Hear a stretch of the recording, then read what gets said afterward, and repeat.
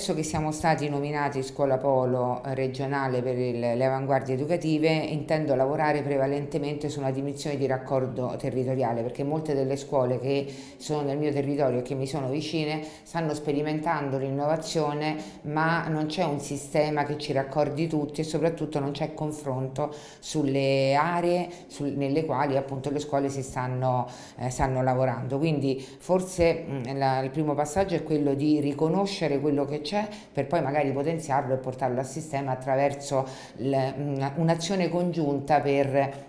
per l'innovazione e che guardi insomma, quello, al futuro, a quello che si deve ancora fare. Evidentemente, ehm, probabilmente anche il problema delle scuole secondarie è anche quello di un po' eh, di solitudine all'interno del, diciamo, del, loro lavoro. No? Ognuno lavora eh, nella propria scuola, segue la propria traiettoria, segue la propria strada e, e spesso non c'è un'idea di eh, comunità educante che cresce tutta insieme in una dimensione di innovazione. Quindi per questo motivo io eh, penso di lavorare in primo luogo con i dirigenti scolastici che sono i motori dell'innovazione e che eh, devono